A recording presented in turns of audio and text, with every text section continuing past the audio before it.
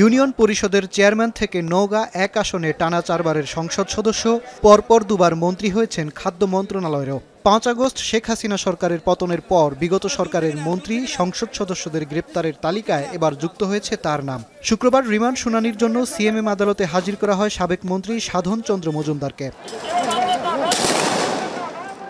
স্বৈরাচারের পতনের আগের দিন চার আগস্ট যখন গণ আন্দোলন তুঙ্গে, তখনই কারওয়ান বাজারে গুলি করে হত্যা করা হয় ড্যাফোডিল বিশ্ববিদ্যালয়ের শিক্ষার্থী রমিজুদ্দিনকে এ ঘটনায় তেজগাঁও থানায় মামলা হয় শেখ হাসিনা, তার বোন শেখ রেহানা ও ছেলেসহ তেইশ জনের বিরুদ্ধে।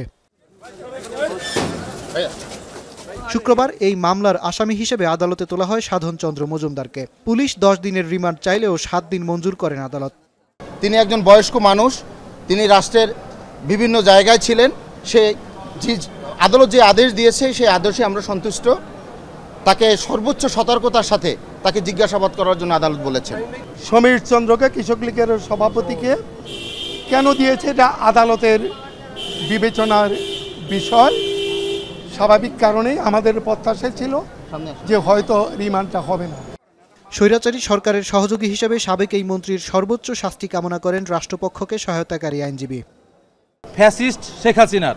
খুব কাছের একজন ঘনিষ্ঠজন ছিলেন, তাকে ফ্যাসিস্ট হওয়ার জন্য সর্বাত্মক সহযোগিতা করেছে এবং বৈষম্যবিধি ছাত্র আন্দোলনকে দমনের জন্য যে কোনো উপায়ে হত্যা, নির্যাতন, যাই হোক না কেন, দমনের জন্য তিনি একজন অত্যন্ত কাছের, শেখ হাসিনার কাছের এবং সহযোগী। একই দিনে বাড্ডা থানায় দুলাল হত্যা মামলায় কৃষক লীগের সভাপতি সমীর চন্দ্র তিন দিন, যুবদল নেতা শামীম হত্যা মামলায় পল্টনের সাবেক ওয়ার্ড কাউন্সিলর এনামুল হক আবুলকে পাঁচ দিন এবং হিজবুত তাহারিরের গণমাধ্যম সমন্বয়কারীকে তিন দিনের রিমান্ড দেন আদালত।